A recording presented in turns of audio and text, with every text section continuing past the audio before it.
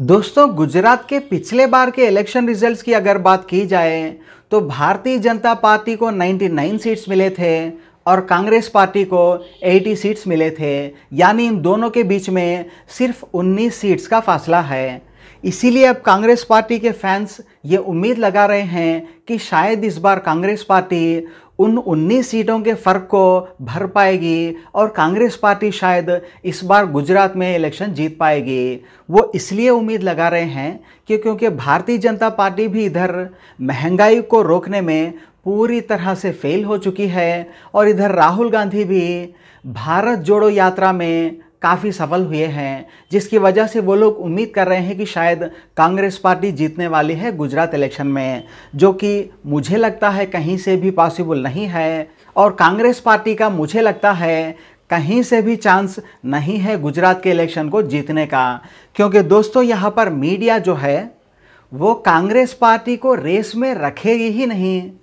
Media जो election करवाएगी, वो बीजेपी और एमआईएम के बीच में इलेक्शन करवाएगी। यानी मीडिया बीजेपी का सिर्फ़ वो भाषण दिखाएगी जिसमें बीजेपी वाले कह रहे हो कि मथुरा का मंदिर जो है वो वहीं बनेगा और एम पार्टी के वो भाषण दिखाएगी जिसमें वो कह रहे हो कि ज्ञानवापी मस्जिद वहीं पे थी, वहीं पे है और वहीं पे रहेगी। तो ये दोनों ही भाषण मीडिया दिखाएगा और इन दोनों के बीच में ही मीडिया इलेक्शन करवाएगा। जिसके बाद होगा ये कि गुजरात के अंदर 9 परसेंट जो मुसलमान भाइयों के वोट्स है वो एम की तरफ़ अट्रैक्ट होंगे और मेजॉरिटी हिंदू भाइयों के जो वोट्स है, वो बीजेपी की तरफ़ अट्रैक्ट होंगे, जिसकी वजह से बीजेपी आसानी से इलेक्शन जीत जाएगी। तो यहाँ पर कांग्रेस को जो है, वो मीडिया रेस में ही नहीं रखेगी। मीडिया सिर्फ़ बीजेपी और एमएम का ही इलेक्शन करवाएगी, जिसकी वजह से बीजेपी इलेक्शन जीतने वाली है। लेकिन यहाँ पर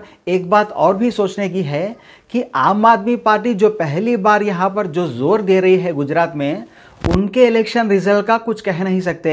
हो सकता है जनता दिल्ली मॉडल और पंजाब में उनकी जीत को देखकर पहली बार ही उन्हें सीट भी दे सकती है, या फिर जनता वेट कर सकती है कि पहले आम आदमी पार्टी यहाँ पर आए ग्राउंड लेवल पर वो वर्क करे। अगर उनका वर्क अच्छा दिखे तो ही उन्हें अगले इलेक्शन में जिता सकेगी।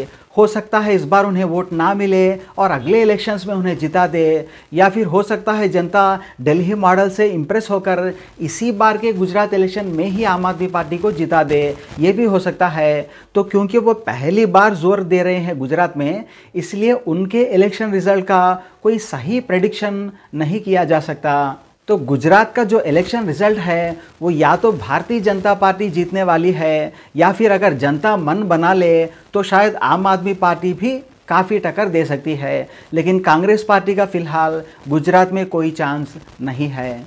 Thank you so much guys गर्मी में आप मेरी बात सुनने आए, इसके लिए बहुत बहुत धन्यवाद करता हूँ आपका।